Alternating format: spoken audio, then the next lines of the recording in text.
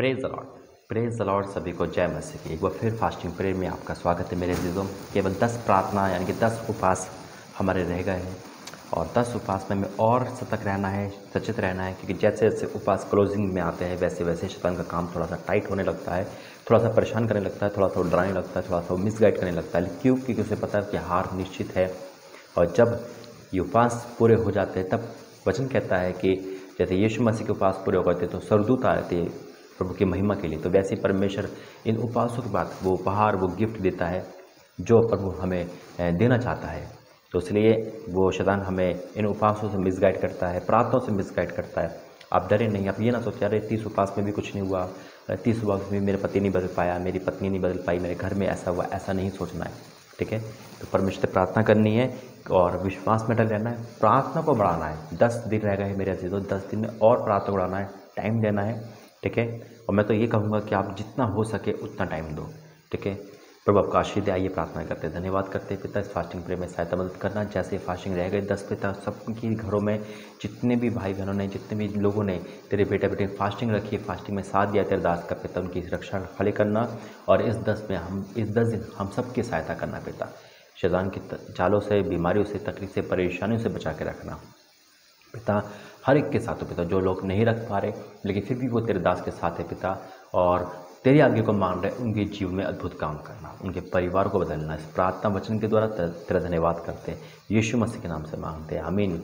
मेरे अजीत प्रभु, धन्यवाद करता हूँ, आज प्रभु ने एक वचन दिया है, और वो है अनोखी चंगाई। बिल्कुल मेरा अजीत आज परमेश्वर तन की चंगाई तो देकर, लेकिन साथ में मन की चंगाई भी होती है। और मन की चंगाई होना बहुत ज़रूरी है, क्योंकि तन की चंगाई तो है ही ज़रूरी। कि कभी कभी क्या होता है कि तन की चंगाई से ज़्यादा दर्द नहीं होता, यानी कि तन जो शरीर का जो दर्द है, वो मन को इतना दुखता नहीं है, लेकिन जो मन दुखता है, वो बहुत ज़्यादा खतरनाक होता है। आज परमेश्वर दोनों को चंगाई देने वाला है, अनोखी चंगाई है ये। निकालेंगे एक वचन यरमिया तीस अध्याय, यरमिया तीस अध्याय यरमिया तीस अध्याय का सत्रहवा वचन। यरमिया तीस का सत्रहवा वचन। यहाँ लिखा है, मैं तेरा इलाज करके तेरे घावों को चंगा करूँगा। यहुआ की वाणी है। क्योंकि तेरा नाम ठुकराई हुई पड़ा है, वह तो स्योन है, उसकी चिंता कौन करता है? पहली बात क्या है? यरमिया तीस के सत्र में पहला क्या है? मैं तेरा इलाज करके, तेरे घाव को चंगा करूँगा। मेरा और आपका परमेश्वर कहता है, मैं तेरे इलाज करके, मेरा परमेश्वर डॉक्टर का डॉक्टर है। हाल लिया मेरा और आपका परमेश्वर अद्भुत रीति का चंगाई देने वाला परमेश्वर है। अब यहाँ पे जो बात आती है, वहाँ लिखा है, मैं तेरा इलाज करके, तेरे घाव को चंगा करूँगा। घाव यानी कि जो शरीर पे होते हैं, है ना? चोट के घाव। लेकिन नहीं, मेरे शरीर से ज़्यादा खतरनाक घाव जो होते हैं, वो मन के होते हैं। मन के घाव कैसे होते हैं? किसी का हट हो जाए, किसी को धोखा मिला हो आपको, आपके साथ गलत किया गया है, आप किसी को माफ़ नहीं कर पा रहे, है ना? आपने जिस पे भरोसा रखा, वही आपको चिट करके चला गया। या आपके घर में से कोई ऐसा इंसान है जो आपके साथ फ़िज़िकल कर चुका है, या आपके साथ एक एक पाप में वो इन्वॉल्व हो चुका है तो उसका आप माफ़ नहीं कर पा रहे आपके पति ने आपको धोखा दे दिया, वो क्या हो गए? मन के घाव हो गए। मन में वो जख्म आ गया। आप किसी लड़की से नफरत करने लगे, आप किसी लड़के से नफरत करने लगे, अपने पापा से नफरत करने लगे, है ना? एक शैतान ने क्या कर दिया एक छवि डाल दी। आप उसको माफ़ नहीं कर पा रहे, आप लड़कों से नफरत करने लगे। और आप बहुत अच्छे चल रहे थे शैतान। कुछ लोगों को ऐसे लेके आया जिसके साथ आपके साथ बुरा हुआ, आपके साथ बहुत बुरा, आप एक लड़की हो सकते हो एक लड़के हो सकते हो, कोई भी हो सकते हो, है ना? एक लड़की एक लड़की के साथ बुरा कर सकती है लड़का, लड़के के साथ बुरा कर सकता है। आप उसको माफ़ नहीं कर पा रहे। आपको लग रहा है कि मेरा फ्यूचर खत्म है, मैं पर वो उसको कैसे माफ़ करूँ? है ना? वो आपका घर का हो सकता है, बाहर का हो सकता है। वो क्या है? आपके घाव है। कहाँ पे मन के खाओ। आप प्रार्थना तो कर रहे हो, वचन भी पढ़ रहे हो, लेकिन आपको प्रभु कह रहा बेटा, उसको माफ़ कर, है ना? उसको भूल, है ना? उसको हटा अपने दिल से, नहीं कि, नहीं हटा पा रहे, क्योंकि वो घाव है, वो एक जख्म की तरह है। आज मेरा परमेश्वर आपको उन जख्मों से आज़ाद करेगा, यीशु मसीह के नाम में लिखा है, मैं तेरे इलाज करके तेरे घाव को चंगा करूँगा। वो घाव जो कोई डॉक्टर नहीं भर सकता, वो घाव जो कोई वैद्य नहीं भर सकता, वो घाव जो कोई हॉस्पिटल ठीक नहीं कर सकता, कोई मेडिसिन नहीं बनी इन घावों की मेरे अजीज़ों। ठीक करने के लिए ये वो घाव है जो लोगों को दिखते नहीं। आप बड़े हटे कट्टे हो, बहुत अच्छी तरह हो, आपके पास एजुकेशन है, आपके पास सब कुछ लेकिन आप डिप्रेशन में हो। क्यों डिप्रेशन में? हो क्योंकि आपके अंदर घाव है है ना? आपको लगता है कि, अरे, मैं उस लड़के से कैसे आज़ाद हूँ? अरे, मैं उस लड़की से कैसे छोड़ूँ? अरे, वो तो मेरी ज़िंदगी है। अरे, वो मैं उसको कैसे माफ़ करूँ? ठीक है आज मेरा परमेश्वर आपको आज़ाद कर रहा है यीशु मसीह नासरी हाल लिया यीशु मसीह के नाम से, आमीन। तो यहाँ लिखा है, मैं तेरे इलाज करके तेरे घाव को चंगा करूँगा। आज परमेश्वर उन घाव को चंगा करेगा। जैसे भी मैंने बोला, आप बड़े अच्छे हो सकते हो, आप पैसे वाले हो सकते हो, आप बिल्कुल ठीक हो। कोई आपको कह कह नहीं सकता आप बीमार हो, लेकिन मन का घाव है। मन का घाव आप चुपके से रोते हो। मन का घाव आप अकेले बैठ कर रजाए के अंदर रोते हो। मन का घाव आप अकेले, अंधेरा आपको पसंद है। मन का घाव आप किसी से बात नहीं करते। मन का घाव आप किसी से घुल मिल नहीं सकते। मन का घाव आपको वो चेहरा देखते, कोई उसकी याद आ जाती है या आप उसको नफरत करने लगते हो। ऐसे कंडीशन में जी रहे हो तो ये वचन आपके लिए मेरे जीतो आज मेरा परमेश्वर कह रहा है कि तेरे घावों को मैं चंगा करूँगा और आज प्रभु आपके मन को बदलेगा, आपके मन को बदलेगा और यकीन माना वो परमेश्वर अपना हृदय लगाएगा। और फिर क्या लिखा है? मैं से इलाज करके तेरे घाव को चंगा करूँगा यहुआ की वाणी है। हाँ मेरे मेरे अजीज़ों, परमेश्वर की वाणी। इसी का जब हम आंसर देखते हैं यरमिया इकतीस का सोलह, यरमिया इकतीस का सोलह क्या लिखा है? यह ये कहता है रोडने पीटने और आँसू बहाने से रुक जा, क्योंकि तेरे परीक्षा का फल मिलने वाला है रोडने पीटने से। अब मेरे ऐसे तो रोना पीटना बहुत किस्म का होता है, लेकिन वो जो आज प्रभु ने मुझे वचन दिया, वो है मन का टूटना, मन का टूट गया है आपका, है ना? मन टूट चुका है, मन नहीं लग रहा है, बिल्कुल आप अकेले पड़ गए हो, आपके पास सब कुछ है, आपको प्रभु सब कुछ दे रहा है, फिर भी आप सेटिफाइड नहीं हो पा रहे, फिर भी आप संतुष्ट नहीं हो पा रहे, फिर भी आपको लग रहा है, नहीं, मेरे पास कुछ कमी है, नहीं, मुझे वो नीड चाहिए, मुझे वो चाहिए। शैतान आपको मिस गाइड कर रहा है। लेकिन आज मेरा परमेश्वर आपको मन से चंगाई देने वाला परमेश्वर है। आज आपके मन को बदलेगा यहाँ लिखा है यह वही हम कहता है, रोने पिटने और आँसू बाँध से रुक जा। आपके आँसू रुकते नहीं। अब आपको याद करके याद आती है। आप आपको एक अजीब व गरीब एक परिस्थिति में हो आप। लेकिन ये वचन आपके लिए और आज प्रभु आपको बदलना है।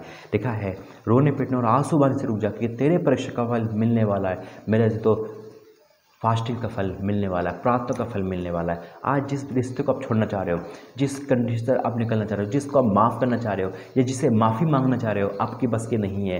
पाप करना आसान होता है, थप्पड़ मारना आसान होता है, लेकिन माफ़ी मांगना, माफ़ करना नामुमकिन होता है। कब होता है नामुमकिन? जब हम प्रभु को नहीं जानते, लेकिन मेरा और आपका परमेश्वर हिम्मत देता है मेरा जी तो आज हो सकता है आप किसी रिश्ते बाहर आना चाहते हो, लेकिन हो सकता है वो रिश्ता बार बार आपको खींच रहा हो, क्योंकि वो पाप का रिश्ता है और शैतान नहीं चाह रहा। कि आप उस रिश्ते में बंधे और परमेश्वर आपको दूसरा रिश्ता दे रहा है। परमेश्वर आपको दूसरा रास्ता देख रहा है मेरे जी तो परमेश्वर आपको दूसरा हाथ दे रहा है। आप उस हाथ की तरफ़ नहीं देख रहे।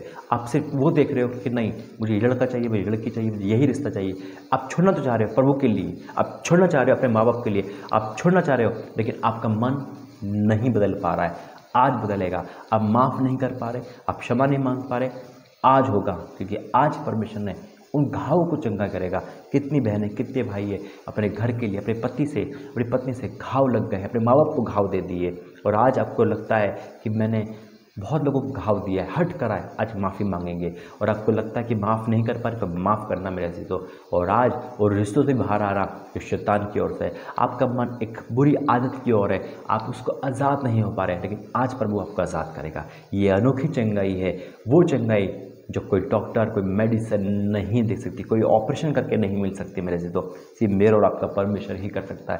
वो मन को बदलने वाला परमेश्वर है। हालेलुया। और ये एक वो बीमारी होती है मन के टूटने से, जो दिखता नहीं है। वो लड़का बड़ा अच्छा दिखेगा, लड़की बड़ी अच्छी दिखेगी सब कुछ होगा, लेकिन उसका गम अंदर अंदर घोटेगा, वो दम घुटेगा। क्यों? क्योंकि शैतान ने उसको ये घाव दिया है। लेकिन मेरा परमेश्वर इलाज करने वाला है।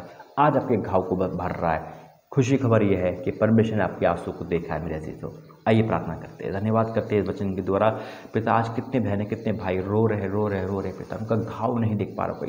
उनको कोई समझ नहीं पा रहा। वो यही कहते हैं, हमें कोई नहीं समझ पाता। लेकिन आप समझते हो पिता। आप इनके परिवार को आप इनकी माँ हो, आप इनके पिता हो, आप इनके भाई हो, आप इनके दोस्त हो। पिता, आप इनके बनाने वाले हो पिता। आज इनके मन को बदल दे पिता। आज हर एक के मन बदल, जिनके मन में घाव है, वो पिता इनके साथ बहुत बुरा हुआ है, चीट हुआ है, इनको पिता इस्तेमाल किया गया है, इनको धोखा दिया गया है, आज ये माफ़ नहीं मांग पा रहे।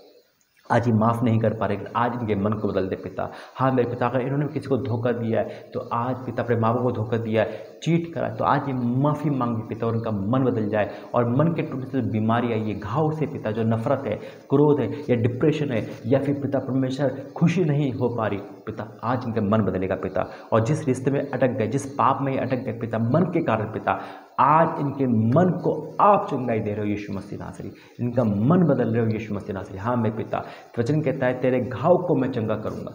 मैं तेरे आज कहते घाव को चंगा करूँगा। इनके मन पर घाव लग चुके हैं पिता। कोई लड़की के विरुद्ध, कोई लड़के के विरुद्ध, माँ बाप के विरुद्ध, घर के विरुद्ध, परिवार के विरुद्ध, ओ मेरे स्वामी पिता, आज इनके घाव को चंगा कर दे। इनके आँसू को देख रोने पीटने वाले लोग आज आनंदित हो जाए। खुशी में मगन हो जाए पिता, ये अनोखिक चंगाई और अलौकिक चंगाई इनकी लाइफ में आने पाए, जिससे इनका शरीर भी चंगा हो जाए, जिससे इनकी आत्मा भी चंगी हो जाए, जिससे इनका मन भी चंगा हो जाए। पिता, फास्टिंग प्रेम में जितने रख रहे पिता, उनकी सहायता मदद करना और इनकी पिता, इनकी जो परीक्षा की घड़ी है इनमें सहायता करना पिता। हर एक के जीवन में अद्भुत काम करना। जितने भाई बहन जितने लोग इस परिवार, इस यूट्यूब से जुड़े हुए पिता, और इस माध्यम से ये प्रार्थना सुन रहे देख रहे विश्वास कर रहे आज उनके बहते हुए आँसू, बहते हुए आँसू, बहते हुए आँसू ये बता रहे उनका मन बदल चुका है। और परमेश्वर आप जो कह रहे हो, ये वो मानेंगे। आप जो बोल रहे हो, ये वो करेंगे। आप जो बोलोगे, ये वो करेंगे, क्योंकि इनका मन आपने बदल लिया है। मैं आपका धन्यवाद करता हूँ। इस प्रार्थना को यीशु मसीह के नाम से मानते हैं। आमीन आमीन आमीन। मेरे दिल जब तक मन नहीं बदलता तो हम प्रभु की आज्ञा भी नहीं मानते। हम अपनी मर्ज़ी कहते हैं, लेकिन जब मन बदलता है, तब परमेश्वर की आज्ञा को मानते हैं। हाल लिया और जब तक मन नहीं बदलता तो हम शैतान की बातें मानते हैं। आज आपका मन बदला है और आप प्रभु की आज्ञा मानोगे। God bless you. जय मसीह की। प्रभु आपको आशीष दे।